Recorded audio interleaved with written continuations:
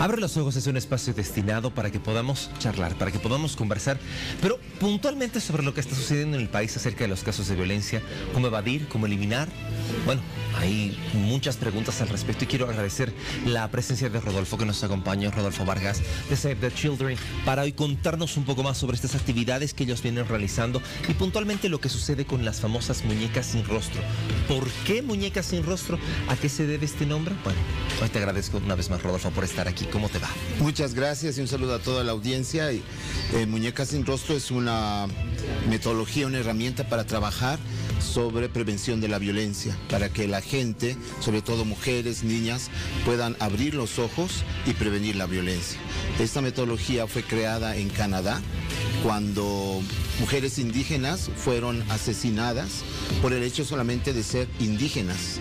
Eh, niñas, mujeres jóvenes eran secuestradas, torturadas y asesinadas.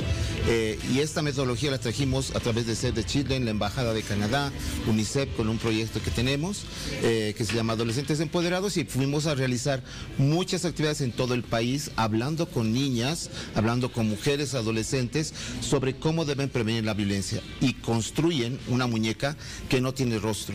¿Por qué?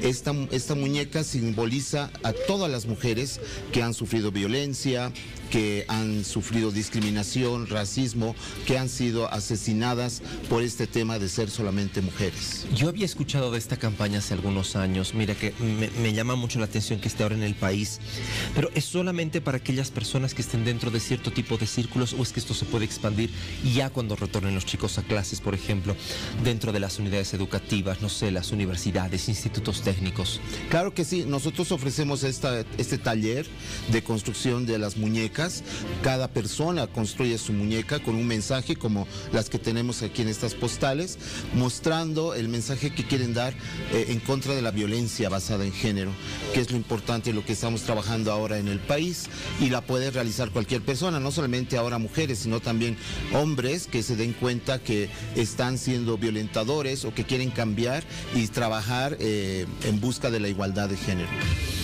Bueno, eh, se habla también de la discriminación, tan solo de la violencia. Claro, porque esto comenzó por la discriminación por ser eh, indígenas. Y eh, recientemente estuvimos, por ejemplo, en el norte de Potosí y hablamos con mujeres quechuas, con niñas quechuas, que eh, tocaron muy fuerte este tema del racismo todavía que existe por tener una pollera, por hablar quechua, por ser distintos. Entonces, y por ser trans también. Por ser trans, por las diversidades sexuales, por vivir con VIH, por tener cáncer, por tener una discapacidad. Hay mucha gente que es discriminada y cuando hacemos con estas poblaciones las muñecas surge mucho, mucho dolor, mucha tristeza. Hemos descubierto niñas que eran violadas por mucho tiempo y la muñeca ayudó a que saquen ese dolor. Claro, es como hacer un vaciado, ¿no? Un vaciado. Muchas veces. Y muy fuerte para nosotros realmente encontrar esas realidades que después ayudamos a través de todas las autoridades para que se pueda solucionar. ¿Qué pasa si de pronto hay una persona que nos está viendo, que puede haber sido violentado, que está viviendo en todo esto y quiere ser parte de su campaña? Eh, tenemos nuestras redes sociales, el de Children, la Embajada de Canadá, UNICEF, donde pueden encontrar eh, direcciones, toda la información necesaria para realizar estas muñecas. Como les decía, nosotros podemos realizar estas capacitaciones a todas las personas que desean. Es muy fácil realizar una muñeca eh, lo importante es el mensaje que tiene que dar. Te agradezco mucho por estar con nosotros en esta ocasión. Ya lo sabe, esta es una campaña muy interesante que se viene desarrollando. Y usted puede encontrarnos en sus páginas como Save the Children. Rodolfo Vargas ha estado con nosotros, oficial de género de esta institución, para hablarnos sobre esta campaña Muñecas sin Rostro. Ocho y media. Cambiamos, hay más.